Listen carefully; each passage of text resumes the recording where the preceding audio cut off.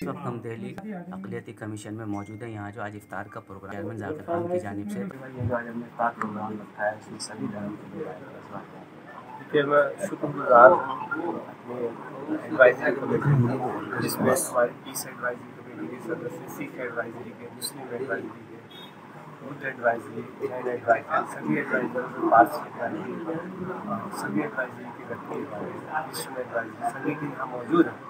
एक हमने एक अफ्तार का आयोजन किया गया है। उसका मकसद है कि हम सभी धर्मों के लोग यहाँ हैं और अपनी बात को कहने के लिए हम स्वतंत्र हैं।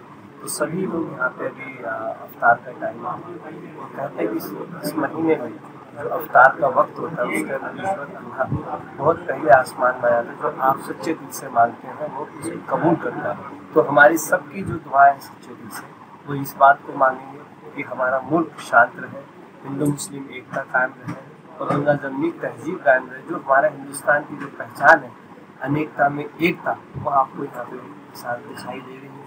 तो हम सब दुआ करेंगे कि हमारे देश में अमन रहे शांति रहे।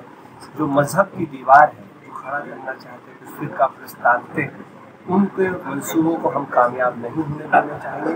हम सब मिलकर उनका मुँह तोड़ जवाब देंगे। और अल्लाह से, ईश्वर से, सभी लोग अपने अपने धर्म के अनुसार यहाँ दुआ करेंगे यही हमारा मुल्क एक है, एक रहे और सभी मुल्क। आदाब नमस्कार, सत श्रीकाल रमज़ान मुबारक की पूरे भारत के देशवासियों को दिल की गहराइयों से मुबारकबाद पेश करता हूँ। और आज दिल्ली की अकलीत कमीशन के चेयरमैन जनाब जाकिर खान साहब ने कुछ एक रोज़े अफ्तार की पार्टी रखी है जिसमें तमाम धर्मों के लोग हिंदू मुस्लिम सिख ईसाई जैनी बौद्धिस्ट पारसी और एक पैगाम देने की अच्छी कोशिश है कि हम सब लोग एक हैं।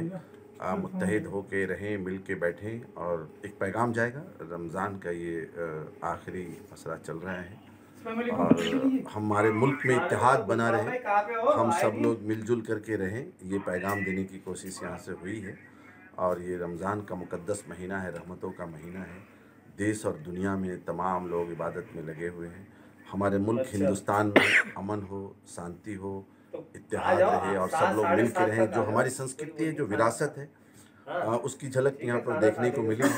और बहुत सारे इफ्तार पार्टियों का आयोजन तमाम अलग अलग पॉलिटिकल पार्टियों की तरफ़ से सोशल एक्टिविस्ट की तरफ़ से मीडिया हाउसेस की तरफ़ से डिप्लोमेट्स की तरफ़ से हो रहे हैं। और आज जाकिर खान साहब ने भी रखा है। ये तो मैं जाकिर खान साहब को भी मुबारकबाद पेश करता हूँ। यहाँ पर जितने भी मेहमान हैं जो भी मस्जिद लोग हैं तमाम लोगों को मुबारकबाद पेश करता हूँ। और एडवांस में सब लोगों को, पूरे प्यारे भारतवासियों को ईद मुबारक बोलता हूँ। बहुत बहुत ईद की मुबारकबाद। जनाब जाकिर खान साहब की जानिब से ये दिल्ली अल्पसंख्यक आयोग के हॉल में इज्तमाही रोज़ा इफ्तार का अहतमाम किया गया है और रोज़, हर रोज़ यहाँ पर दो चार लोगों का इफ्तार होता है। और यकीनन ये इफ्तार पार्टीज़ हिंदुस्तान की गंगा जमुनी तहजीब को बढ़ावा देती है।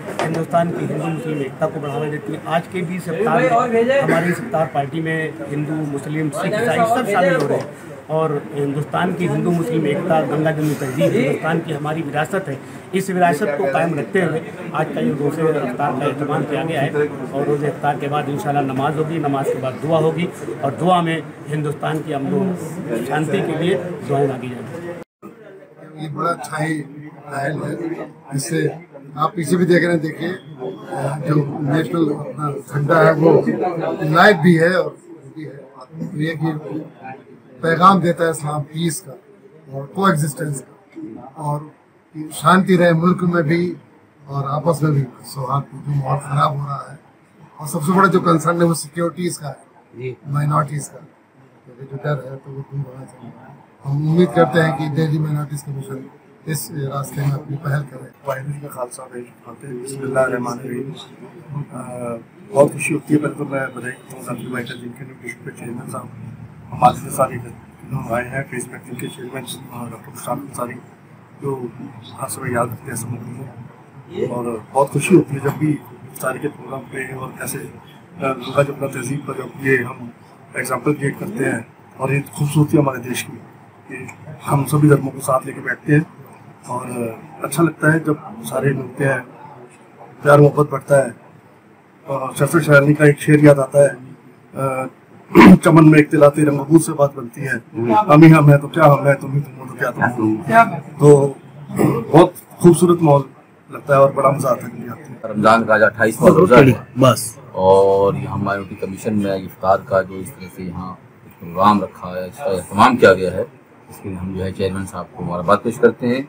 और ख़ास तौर पे इसलिए कि सभी समाज और मज़हब को यहाँ जमा करके और फिर एक फ्लैग बना करके एक दर्शाया जा रहा है इससे बहुत गंगा जमनी की तहजीब के अलावा हुब्बे वतन का एक मुजाहरा हो रहा है। वतन से मोहब्बत खास ताल्लुक और इसकी ज़रूरत है। और यही वजह है कि अगर हम इसी तरह अगर साथ में चलते रहे तो ये देश जो है विश्व गुरु बनेगा बढ़िया दस्तरखान जो है सजाया गया है। जाकिर खान साहब जो कि चेयरमैन हैं जाकिर खान क्योंकि अपने खुलूस और मोहब्बत के लिए पहचाने जाते हैं वही खुलूस और मोहब्बत आज इनके दस्तरखान पे भी दिखाई दे रहा है। सभी धर्म सभी जाति सभी संप्रदाय के लोगों को उन्होंने बड़ी मोहब्बत के साथ इन्वाइट किया है और इस्लाम जो है पैगाम देता है मोहब्बत का और ईद जो आने वाली है वो भी मोहब्बत के लिए खलूस के लिए पहचानी जाती है। तो इसी खलूस को पूरे हिंदुस्तान में फैलाना है और जब पूरे हिंदुस्तान में खलूस मोहब्बत होगी तो ना कोई नफ़रत होगी और सब मिलजुल के जब चलेंगे तो देश तरक्की करेगा और नफरत से नहीं, देश मोहब्बत से चलेगा। आज, अल्हम्दुलिल्लाह, दिल्ली माइनॉरिटी कमीशन के अंदर रोज़ा इफ्तार का अहतमाम किया गया है। और ये अली जनाब जाकिर हुसैन साहब, जो हमारे माइनॉरिटी कमीशन के चेयरमैन हैं उनकी सवाबदीद पर आज ये इफ्तार का अहतमाम है। बहुत खुशी हुई, माशाल्लाह, क्योंकि माइनॉरिटी कमीशन जो है वो बज़ात ख़ुद एक जमहूरी तस्वीर है। जिसमें कई मज़ाहिब के मानने वाले लोगों का ये एक आयोग है, कमीशन है। और यहाँ पर इस तरह के प्रोग्राम अक्सर होते रहते हैं, चाहे वो मुसलमानों से मुतल हों, चाहे बौद्धिस्ट से हों, चाहे वो जैन धर्म से हों, चाहे वो पारसी धर्म से हों। तो ये एक गंगा जमनी तहज़ीब है हमारी इस मुल्क की और एक पहचान रही है शुरू से एक लंबे अरसे शुरू से तो नहीं कहा जाए एक लंबे अरसे से कि रमज़ान के महीने में रोज़ा इफ्तार का अहतमाम किया जाता है और उसमें सभी जाति सभी धर्म सभी बिरादरी के लोगों को बुलाया जाता है जिससे मुल्क के अंदर एक अच्छा पैगाम जाता है भाईचारे का पैगाम जाता है और ये तस्वीर इस मुल्क के अलावा दुनिया के किसी मुल्क में नज़र नहीं आती है रमज़ान के महीने में। ये खसूसियत है हमारे रोज़ा इफ्तार पार्टी का। क्या कहना चाहेंगे आप? देखिए असल में तो ये हिंदुस्तान है।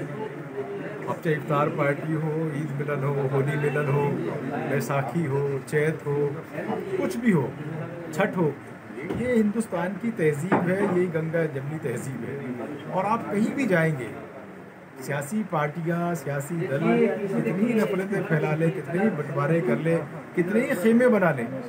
ये जो इस मिट्टी का जो पूरा जो खुशबू है ना वो इस हिंदुस्तान में ही है और हिंदुस्तान हम सबसे मिलके बना है।